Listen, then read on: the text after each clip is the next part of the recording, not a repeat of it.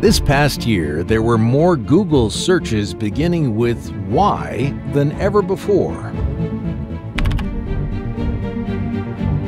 Overseas vaccine rates are much lower and the virus. Why can't I sleep at night? Why is it called COVID 19? Why are there so many fires raging? Why can't our leaders just get along? Why is there no end to all this confusion?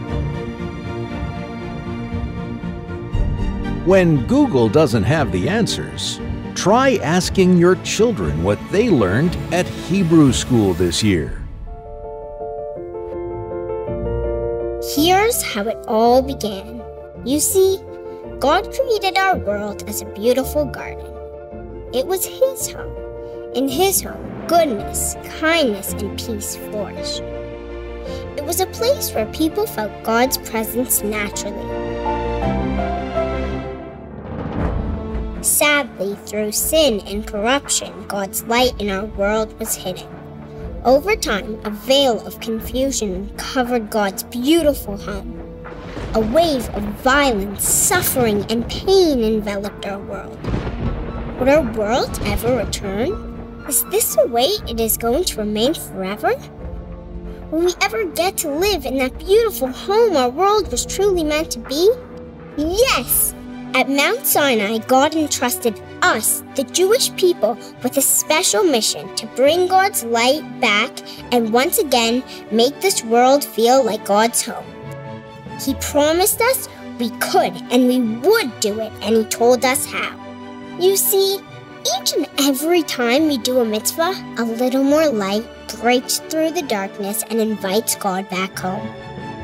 When we extend kindness to others, when we proudly display our commitment to our traditions and heritage, when we eat kosher food and celebrate Shabbat, when we express our gratitude to God for the blessings in our life, we are actually adding light weeding out the darkness and preparing our world for Mashiach.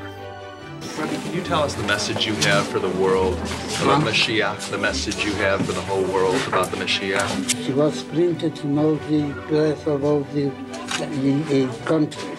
The Mashiach is ready to come now. It is only from our part to do something additional in the realm of goodness and kindness.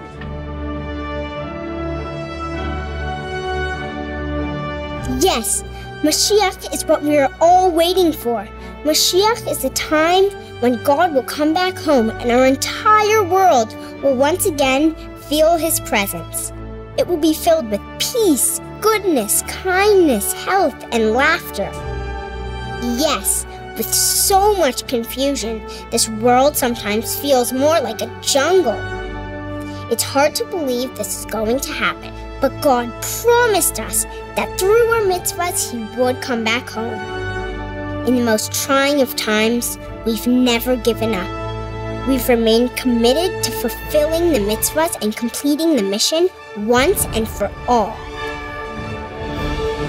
So let's stop asking Google why and start asking Hebrew school students how. How much charity should I give? How can I do another mitzvah today? How do I put up mezuzahs on all my doorways? How can I help bring Mashiach today?